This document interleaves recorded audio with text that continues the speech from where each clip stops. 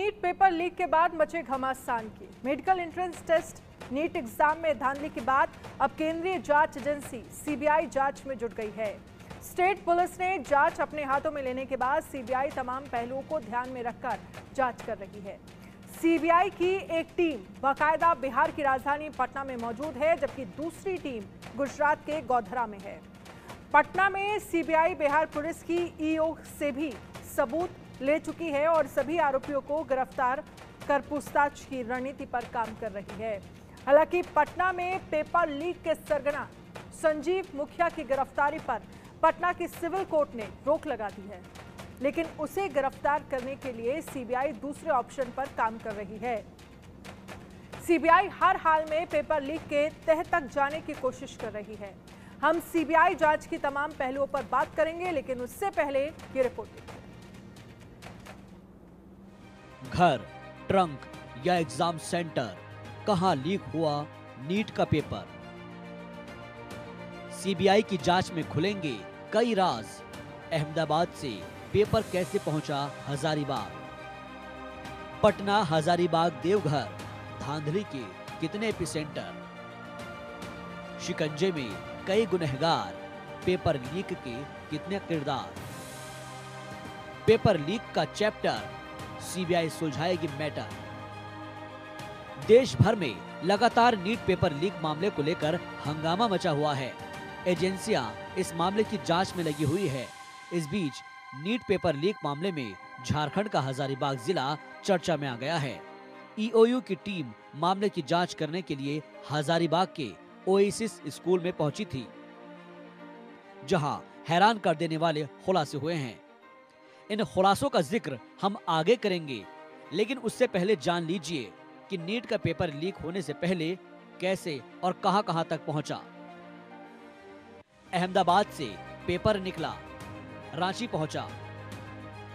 रांची से Hazaribagh courier office पहुँचा और फिर वहाँ से स्टेट बैंक पहुँच गया। स्टेट बैंक से एग्ज़ाम सेंटर पहुँचा। जो आंसर शीट होती है, उसे काफ़ी चाक चौबंद सुरक्षा व्यवस्था में सेंटर्स पर पहुँचाया जाता है। बैंक में बाकायदा स्ट्रांग रूम में रखा जाता है तो स्ट्रांग रूम से जब ये ट्रांसपोर्टेशन के लिए लाया गया, तब ये गायब हुआ। या बैंक से निकलकर जब केंद्र के लिए जा रहा था, यानी क्या ये बैंक से गायब हो गया? बैंक के स्ट्रॉन्ग रूम से गायब हुआ ये बुकलेट संख्या, जिसका ज़िक्र अभी हमने किया, जिसके नंबर का हमने ज़िक्र किया। या फिर बैंक से निकलकर स्ट्रॉन्ग रूम से निकलकर जब ये स्कूल के सेंटर पर जा रहा था, उस बीच इसे गायब किया गया। ये बहुत बड़ा, महत्वपूर्ण सवाल है। जिसके बाद कई सवाल खड़े हो रहे हैं कि आखिर नीट का पेपर कहाँ और किस जगह पर लीक हुआ।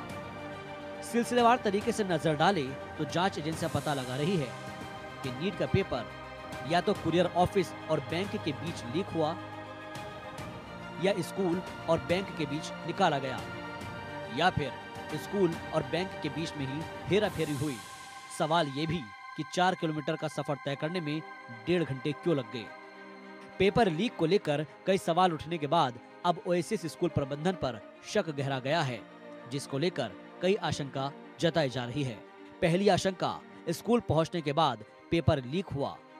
दूसरी आशंका, बैंक से स्कूल पहुँचने के बीच पेपर लीक हुआ। शक गहराने की पहली वजह, ओएसिस स्कूल के प्रिंसिपल कोऑर्डिनेटर थे। शक गहराने की दूसरी वजह ओएसिस स्कूल के वाइस प्रिंसिपल सुपरिटेंडेंट थे। शक गहराने की तीसरी वजह, एक प्रोफेसर को सेंटर पर ऑब्जर्वर बनाया गया था। जानकारी हमें ये मिल रही है, जब हमने इन्वेस्टिगेशन को आगे बढ़ाया, इंडिया न्यूज़ की इन्वेस्टिगेशन आगे बढ़ी तो हमें ये जानकारी मिली कि अतुल वत्स जो शख्स है, उसके देश भर में 60 से ज़्यादा ऑनलाइन परीक्षा केंद्र जो होते हैं, उसने ले रखा है। अब ये केंद्र उसे किसने निर्गत कराया और क्या बगैर जाँच के ही उसे ये केंद्र निर्गत किए गए? और क्या इन केंद्र के माध्यम से ये जो ऑनलाइन परीक्षा केंद्र होते हैं, जो सेंटर्स होते हैं, क्या इसकी आड़ में वो अपने धंधे को लगातार आगे बढ़ा रहा है? ईओयू की टीम ने स्कूल में प्रश्न पत्र के शील्ड पैकेट के अपोजिट एंड यानी नीचे के हिस्से में छेड़छाड़ पाई है, जिसके बाद अब सीबीआई ये पता लगाएगी कि एग्जैक्ट किस जगह पर पेपर के बंडल से छेड़छाड़ की गई। क्योंकि प्रश्न पत्र नौ बक्से में रखे हुए थे। एक बक्से में प्रश्न पत्र के तीन बंडल थे। एक बंडल में 24 प्रश्न पत्र होते हैं। नौवे बक्से के एक बंडल से बुकलेट निकाली गई। बुकलेट एक लिफाफे में थी, जिसे कैंची से काटा गया। बुकलेट दोबारा रखकर लिफाफे को चिपकाया गया। परीक्षा सेंटर में एक लड़की को बुकलेट मिली थी। लड़की ने बताया कि लिफाफा फटा हुआ मिला। इसी नंबर की जली हुई बुकलेट पटना में मिली।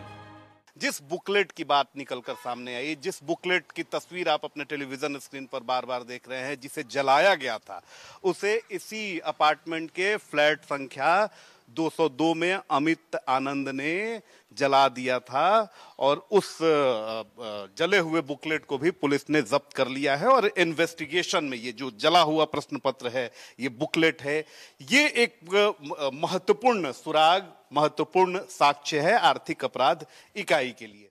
फ़िलहाल पेपर लीक का जाल पाँच राज्यों में फैला हुआ है, जिसमें बिहार, झारखंड, उत्तर प्रदेश, गुजरात और महाराष्ट्र शामिल है। सभी राज्यों में सीबीआई ने केस अपने हाथ में ले लिया है और बारीकी से पेपर लीक के हर पहलू को खंगाल रही है। उम्मीद की जा रही है कि जल्द ही छात्रों के भविष्य से खिलवाड़ करने वाली बड़ी मछलियाँ कानून के शिकंजे में होगी। Bureau report, India News.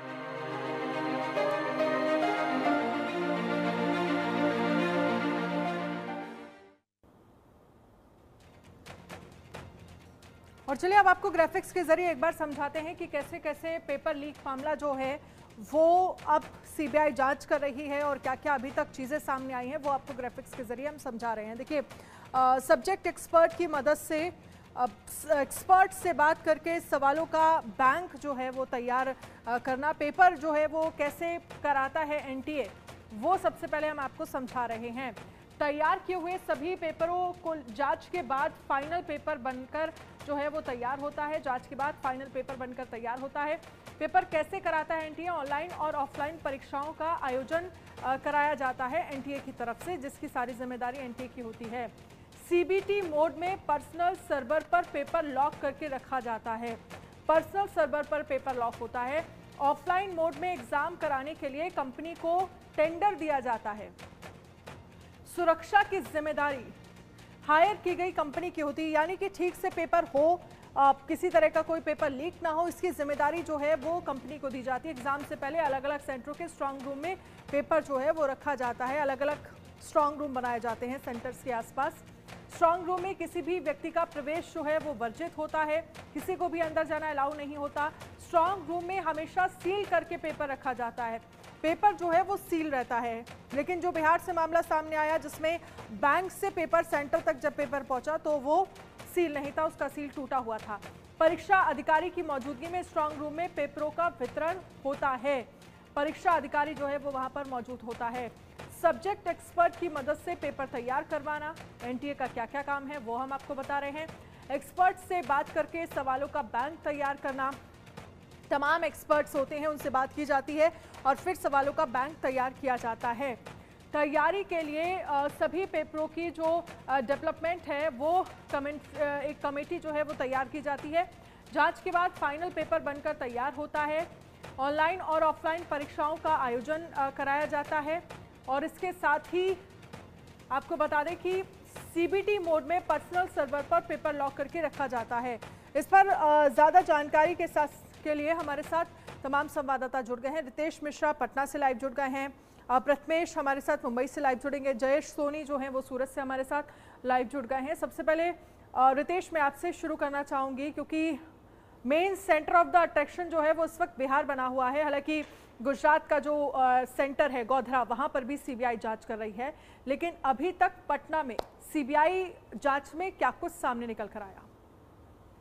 देखिए, सबसे बड़ी बात है कि सीबीआई की टीम पटना पहुँच चुकी है और लगातार वो मीटिंग कर रही है। और मीटिंग किन के साथ हो रही है? ईओयू जिसने अभी तक इस पूरे पेपर लीक मामले की जाँच की है, कई सारे अहम सबूत उसने इकट्ठा किए हैं। तो आज सीबीआई की चार सदस्यीय टीम जो दिल्ली से पटना पहुँची है, वो ईओयू कार्यालय पहुँची, वहाँ एडीजी हैं। ईओयू के नैयर हसनैन खान उनके साथ उनकी मीटिंग हुई। इसके अलावा जो डीआईजी हैं मानवजीत सिंह ढिल्लो, उनके साथ उनकी मीटिंग हुई। पटना एसएसपी राजीव मिश्रा भी उस मीटिंग में मौजूद है और एसएचओ शास्त्री नगर, जिसने सबसे पहले इस मामले को क्रैक किया था, जिसने सबसे पहले यादवेंदु को गिरफ़्तार किया था तो शास्त्री नगर के एसएचओ अमर कुमार भी इस मीटिंग में मौजूद थे। और मीटिंग का मकसद ये था कि अब तक जो भी जाँच हुई है, वो किस तरह से हुई है क्या कुछ सबूत पाए गए हैं, कहाँ लूपहोल पाए गए हैं, कहाँ और काम करने की ज़रूरत है, और इसको लेकर अब सीबीआई आगे बढ़ चली है। जो हमारे सोर्सेज है, चाहे ईओयू के अंदर हो या पटना में जो सीबीआई कार्यालय है, उसके अंदर है।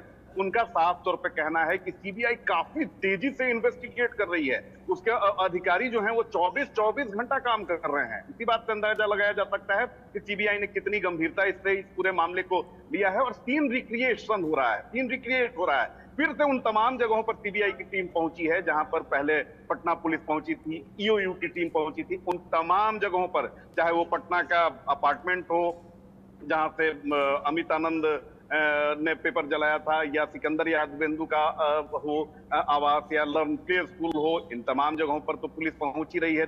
जिन सेंटर से परीक्षार्थी की गिरफ्तारी हुई वहाँ भी पहुँची है सीबीआई की टीम। हम्म। इसके अलावा सीबीआई की टीम नवादा पहुँची है। इसके अलावा सीबीआई की टीम हजारीबाग पहुँची है।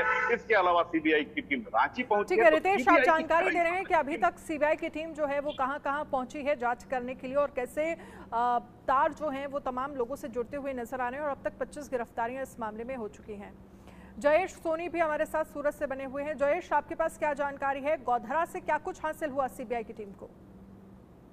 जी, बिल्कुल मैं आपको बता दूँ कि गोधरा में जो भी मामला दर्ज हुआ था, पाँच लोगों की गिरफ्तारी हुई थी। दो करोड़ तीस लाख रुपए के चेक बरामद किए गए थे, सात लाख रुपए नगद बरामद किए गए थे। वो सारी चीज़ें, जो भी सबूत थे गुजरात पुलिस के पास, वो सारे सबूत और पूरा केस जो है, वो सीबीआई को कल ही हैंडओवर करवाया गया था। कल देर रात तक ये प्रोसीजर चली थी और आज सीबीआई की टीम ने जो गुजराती में केस पेपर्स थे, उसको ट्रांसलेट करने की शुरुआत की है। आज पूरे दिन यही चला है, जितने भी स्टेटमेंट्स रिकॉर्ड किए गए थे, जितने भी एफआईआर की कॉपी थी, जो भी पंचनामा था, और जितने भी लोगों के बयान लिए गए थे, उन सारे चीज़ों को अब सीबीआई अंग्रेज़ी में ट्रांसफ़र कर रही है, ताकि जो भी साक्ष्य इसके अंदर शामिल है, वो अच्छे से उनको समझ में आ सके। साथ ही टीम के द्वारा जो इन्वेस्टिगेशन ऑफिसर रहे हैं, उनसे पूछताछ भी की जा रही है, सारी चीज़ों की जानकारी जुटाई जा रही है। ये भी जानने की कोशिश की जा रही है कि जो गिरफ्तारी होने के बाद जो आगे जाँच बढ़नी चाहिए, वो क्यों नहीं बढ़ी है? और नहीं बढ़ी है तो इसके पीछे का कारण क्या है? कारण ये बताया जा रहा है कि एनटीए की तरफ़ से स्टूडेंट्स के एड्रेस और डिटेल्स प्रोवाइड नहीं करवाए गए हम्म।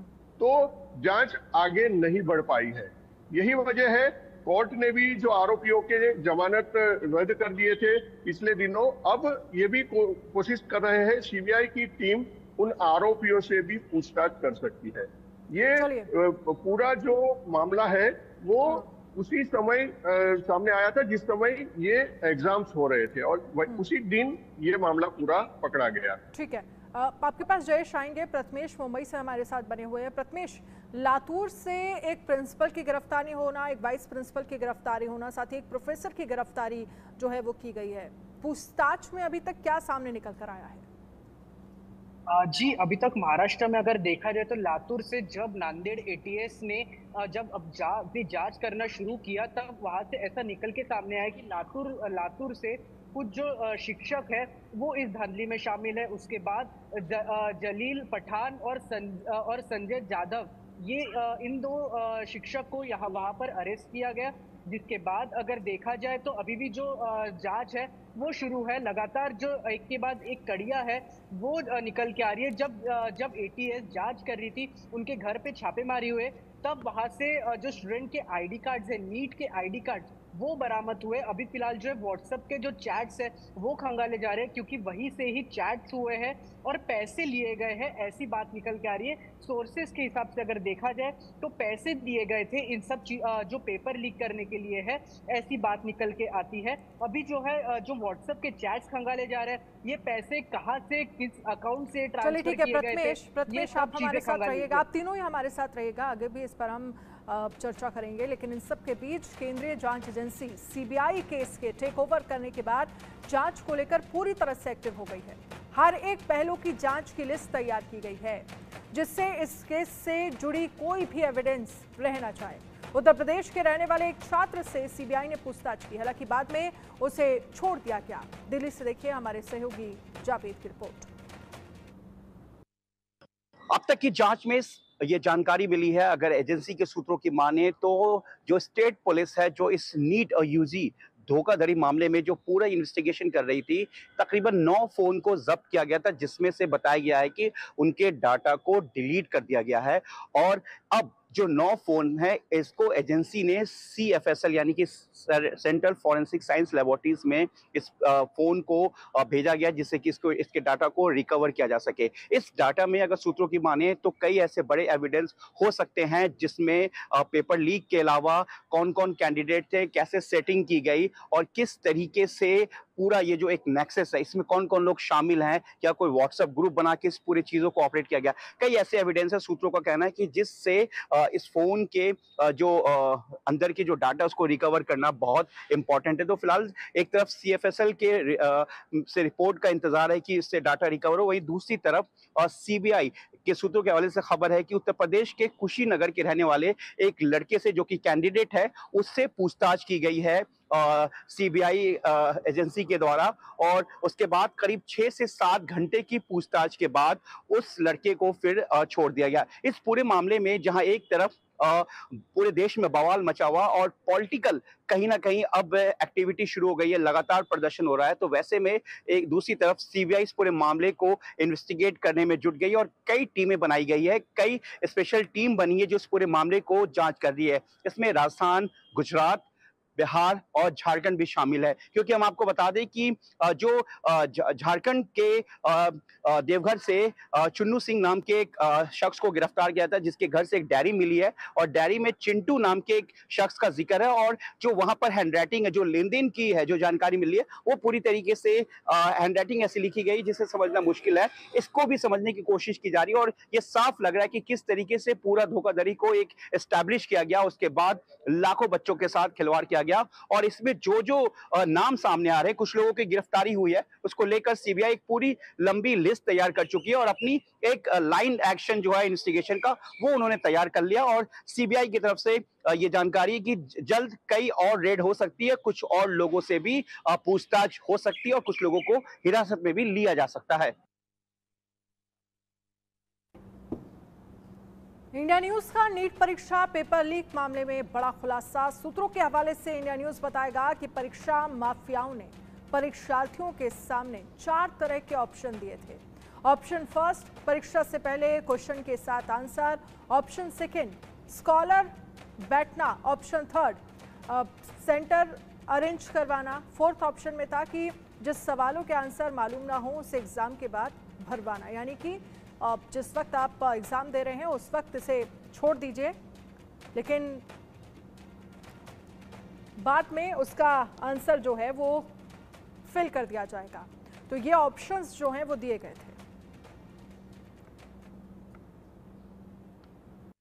अब प्रश्न पत्र लीक मामले की पूरी जाँच सीबीआई ने अपने हाथ में ले लिया है और काफ़ी तेज़ी से इन्वेस्टिगेशन को वो आगे बढ़ा रही है और सीबीआई की कई सारी टीम इस वक्त बिहार में है। अभी देखिए, मौजूद है हम पटना के सीबीआई ऑफ़िस के ठीक बाहर और यहाँ भी जो टीम पहुँची है दिल्ली से, वो यहाँ पर पहुँची हुई है और उसने कई अहम जानकारियाँ उसने इकट्ठा की हैं। इसके अलावा झारखंड में भी कई सारी जो टीम्स हैं सीबीआई की, वो वहाँ पर पहुँची हुई हैं इन्वेस्टिगेट कर रही हैं। लेकिन इंडिया न्यूज़, देश का पहला चैनल सबसे पहले हमने बताया था कि पेपर लीक मामले में हज़ारीबाग कनेक्शन क्या है। और देखिए, जब यो इन्वेस्टिगेट किया तो हज़ारीबाग का कनेक्शन किस तरीके से बेनकाब हुआ, ओएसिस स्कूल का नाम सामने आया। और जिस बुकलेट संख्या छः सौ तेरह, चौंसठ, अट्ठासी की बात आती है, जिसे जला दिया गया था, जिसे अमित आनंद ने पटना के एजी कॉलोनी आवास पर जलाया था वो इसी ओएसिस स्कूल जो हज़ारीबाग में है, जहाँ पर नीट का सेंटर था, वहाँ से गायब हुआ था। एक छात्रा के नाम से ये जो बुकलेट संख्या था, वो था। तो सवाल ये उठता है कि कस्टोडियन से ये बुकलेट पेपर जो है, वो सोल्वर गैंग के पास कैसे पहुँचा? और सवाल ये भी है कि बड़ी ही फुल प्रूफ प्लानिंग होती है और उसके तहत जो प्रश्न पत्र होता है, जो आंसर शीट होती है, उसे काफ़ी चाक चौबंद सुरक्षा व्यवस्था में सेंटर्स पर पहुँचाया जाता है। बैंक में बाकायदा स्ट्रॉन्ग रूम में रखा जाता है। तो स्ट्रॉन्ग रूम से जब ये ट्रांसपोर्टेशन के लिए लाया गया, तब ये गायब हुआ। या बैंक से निकलकर जब केंद्र के लिए जा रहा था, यानी क्या ये बैंक से गायब हो गया? बैंक के स्ट्रॉन्ग रूम से गायब हुआ ये बुकलेट संख्या, जिसका ज़िक्र अभी हमने किया, जिसके नंबर का हमने ज़िक्र किया, या फिर बैंक से निकलकर स्ट्रॉन्ग रूम से निकलकर जब ये स्कूल के सेंटर पर जा रहा था, उस बीच इसे गायब किया गया? ये बहुत बड़ा महत्वपूर्ण सवाल है और इसके जवाब तलाशे जाने बेहद ज़रूरी हैं। हालाँकि सीबीआई एक बार फिर से पूरे मामले को जहाँ तक इन्वेस्टिगेशन को ईओयू ने आगे बढ़ाया है। सीबीआई उसे फिर से रिक्रिएट कर रही है सीन रिक्रिएशन इसे कहते हैं, और उसी जाँच को वो आगे बढ़ा रही है और कई अहम जो साक्ष्य हैं सीबीआई को मिले हैं। अब देखने वाली बात होती है कि सीबीआई कितनी जल्दी इस जाँच को पूरा करती है और कितनी जल्दी छात्रों को न्याय मिलता है और कब जो गुनहगार हैं, जो सॉल्वर सरगना हैं, वो सलाखों के पीछे जाते हैं। अभिषेक के साथ